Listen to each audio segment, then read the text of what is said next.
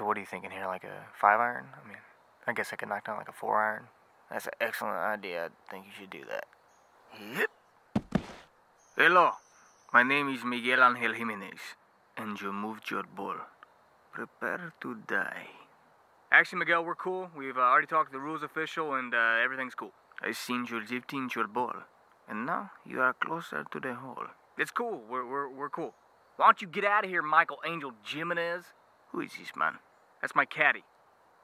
Tell him to shut up. You don't tell my caddy to shut up. Why don't you get out of here before I make you get out of here? No. Here I am, and here I will stay. This is America. If you don't like it, you can get out. Shut up. That's it. You asked for it. What are you doing? This is what I do when I'm about to hit something. I know, I understand. Oh, yeah, you'll understand in a second when I punch you in the face. Now I gotta start over. Oh, it's coming, Miguel. You just wait.